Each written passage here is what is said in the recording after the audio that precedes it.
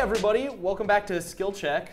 Uh, Ryan and I have had the great fortune of becoming professional Magic the Gathering players, and uh, In the loosest. yeah, in a very So loose loose. sense. We have gone through a lot of different tools for card games, and we've created sort of a Cheat sheet? Cheat sheet of great products that we want to recommend to people who may be new or maybe who are old to the game and want to get back into it using the best tools possible. Yeah. Um, we're going to start with physical products just because the list is much shorter than digital, um, and because people often go to a store and want to play but don't know what to purchase.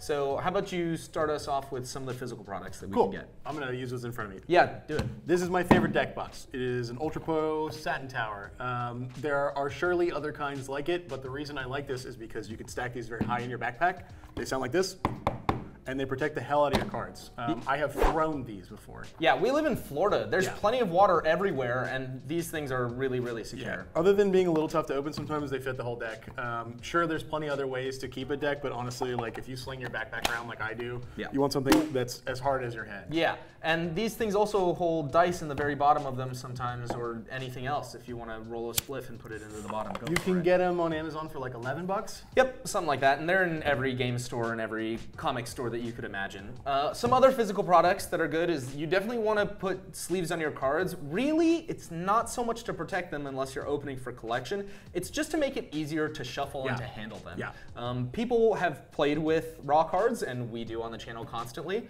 Um, usually, it's just out of convenience. If you have sleeves, they make the gaming experience like twice as good. Even like opinion. tapping your sleeved lands, it's so much harder to do without sleeves. And there are many, many sleeve products. You can get custom ones, and there are big names, and all of them are fine. But if you're just starting out, going on Amazon and getting the cheapest sleeves possible, like they're fine. They'll do the job. Hey Drew, will you show me how to sleeve a card? Yeah, sure. This is a Blinding Mage, and to sleeve a card, you're going to pinch the top, open a little bit of a crack, and then just put it right in there. That's incredible. And now it spins like the Dickens. we, we love to see it.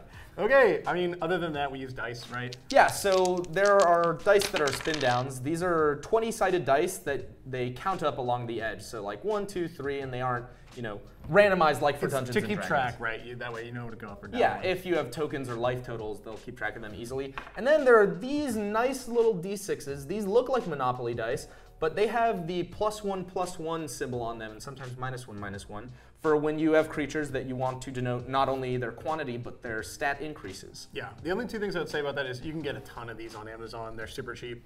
These spin downs, I'm sure you can get there as well. Same with game stores, but Magic also gives them to you when you buy like pre-release packs. Yep. Nice. Uh, or like fat packs or a bunch of other stuff. This is how we have all of the ones These- that we just use at the warehouse. vomit warehouse. them everywhere. So keep an eye out for those. Once you have one or two, you don't really need more. Yeah.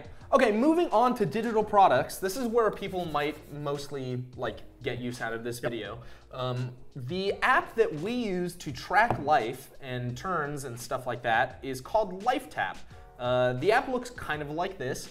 And the icon has a pink D20 with a light blue background.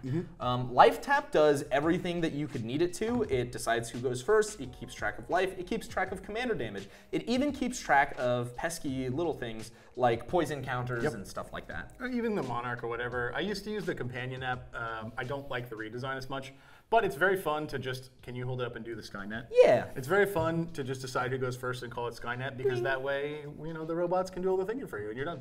LifeTap is by far the best app that we've Fantastic. used. We've used a bunch of them, but it does the job the best, and maybe someone will make a better one. But for now, LifeTap is the go. Let's talk about the internet. Yeah, so when you start getting into Magic, or if you're re-getting into Magic, a huge problem that people run into is that there is a massive bevy of cards that they don't know what they do, and they don't know what to put into their decks, whether they're playing Commander or Standard or what have you. We're gonna focus mostly on Commander just because it's what we play the most, and uh, the first website that we would recommend going to is EDH Rec. Highly. Now, warning! EDH Rec will offer to build decks for you.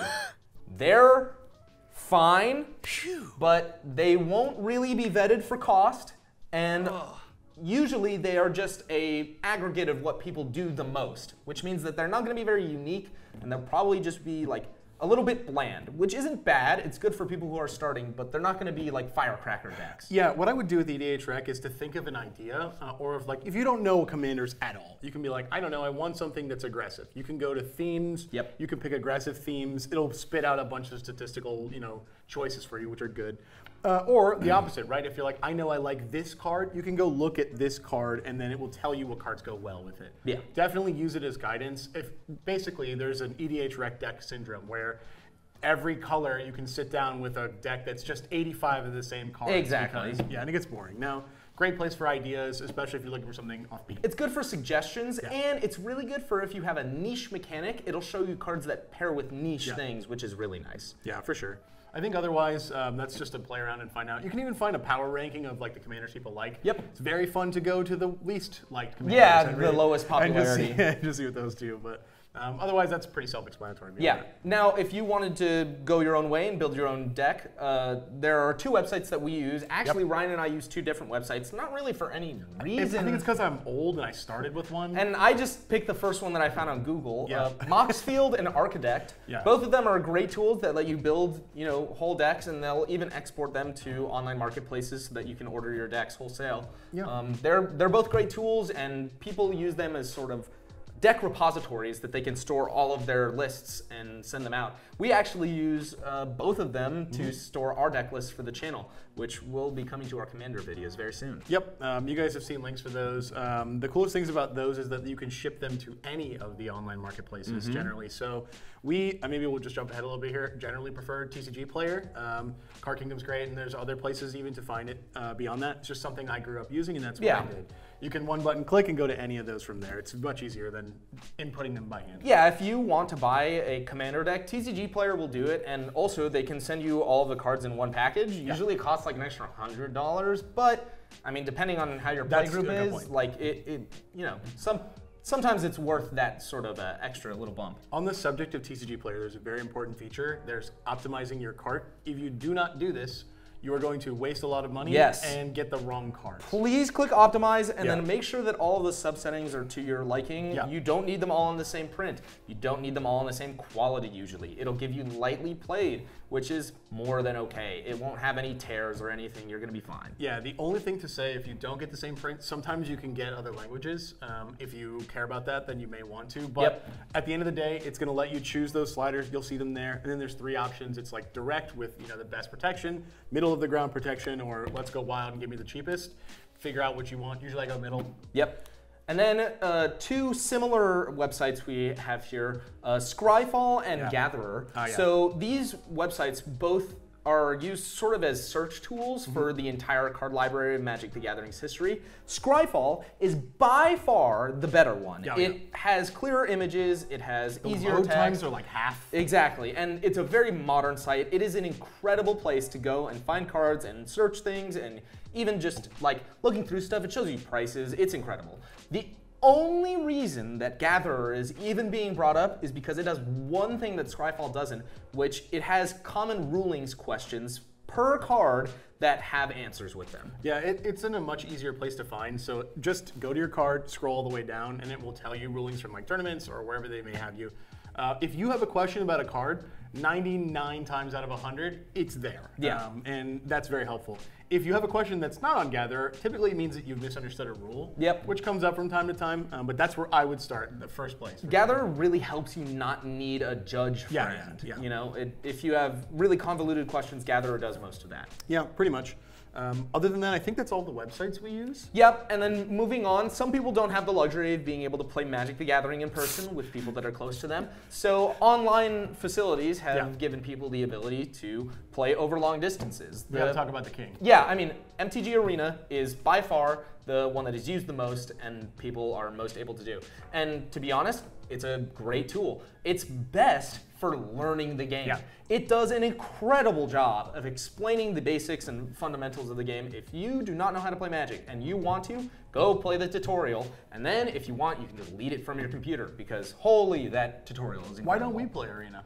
Um, we mostly don't play Arena because we have the luxury of playing in person and going to our local game store, which everyone should try and go do. Supporting your local game store is important for keeping the community alive, but mostly But- it's that. And the third reason, which is that it doesn't have Commander. Yeah, that's true. It only has Brawl and it's 1v1, which is strange. Yeah. So, you know, it doesn't have Still commander. fun. It's just a different flavor. Exactly. It's a it's a different type. Yeah, I would say the you said learning is important, and Arena can definitely do that for new sets too. Yeah, One of the more popular choices. I And for draft. Exactly. Oh, great for draft. Draft the new set on there. Learn the cards. You'll be an ace when you go into your store. Now I do want to play Commander online, but Ah, MTG yeah. Arena doesn't do it. You have two options. If you want to play with paper cards, you can get Wizard's free tool called Spell Table. Mm-hmm. Super easy. You can use your phone as a camera or just a webcam. You'll end up being matched either with random people or a private lobby, and you and those other three can just play a game where your camera looks at your board and you pass the turn in a digital space. Hmm. Super easy. But the other choice I think you're going to talk about is Cockatrice. Yeah, this is the tool that I've actually used the most. It looks kind of sketchy when you're on the site because Yeah, I think little it's just off of a It's like a GitHub. Yeah. Um, but it just imports all of the cards as images, and you can create a lobby and just play through Magic Yep. play through Commander. It's totally fine. You don't need any paper cards. I've used this a lot to test decks mostly. I'll just be in Discord online and I'll say, hey, does anyone want to play some Commander? And it'll be like a three person game. I'll just get to jam a game of a new thing that I'm testing. I'll be like, wow, I really can't build a deck. And then I'll learn from it. Yep, I highly recommend doing a tutorial to get involved in Cockatrice because Yes. it's not that it's that technically difficult, but it also involves like authenticating it to the server and like picking out your region and stuff. Go find a well-viewed tutorial and use those links that are there just to make sure you go to the right sketchy GitHub. Yep.